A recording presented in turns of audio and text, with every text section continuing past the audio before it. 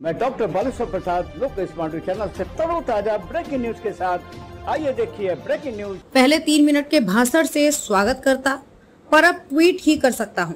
PM Modi के दौरे से पहले सीएम गहलोत ने ऐसा क्यों कहा? पीएम मोदी के राजस्थान दौरे से पहले ही सियासत तेज हो गई है। सीएम अशोक गहलोत ने पीएम के दौरे को लेकर एक ट्वीट किया है। गहलोत ने ट्वीट के माध्यम से पीएम और सरकार पर तंज कसने का काम किया है।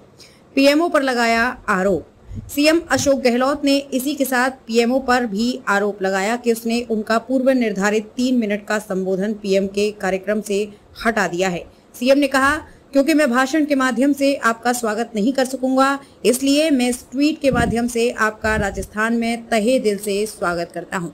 केंद्र सरकार का आया जवाब केंद्र सरकार ने कहा कि सीकर में दो अलग अलग आयोजन हो रहे हैं। सरकार के सूत्रों ने कहा कि एक सरकारी कार्यक्रम है और एक पार्टी कार्यक्रम है। सरकारी कार्यक्रम ठीक इसलिए आयोजित किया जा रहा है ताकि वो सीएम भाग ले सके।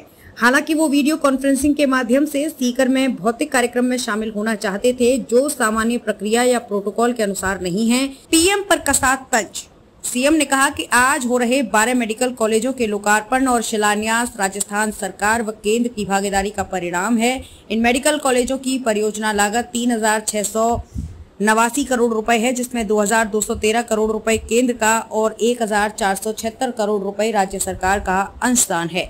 मैं राज्य सरकार की ओर से सभी को बधाई देता हूँ। पीएम से की पाँच मांग। गहलोत ने कहा कि मैं इस कार्यक्रम में अपने भाषण के माध्यम से जो मांग रखता हूँ, वो इस ट्वीट के माध्यम से रख रहा हूँ। सीएम ने आगे तंज कसते हुए कहा, उम्मीद करता हूँ कि छह महीने में की जा रही इस सातवीं यात्रा के दौरान आप इन्हें पूरी करेंगे। राजस्थान, खासकर शेखावटी के युवाओं की मांग पर अग्निवीर स्कीम को वापस लेकर सेना में परमानेंट भर्ती पूर्ववत जारी रखी जाए।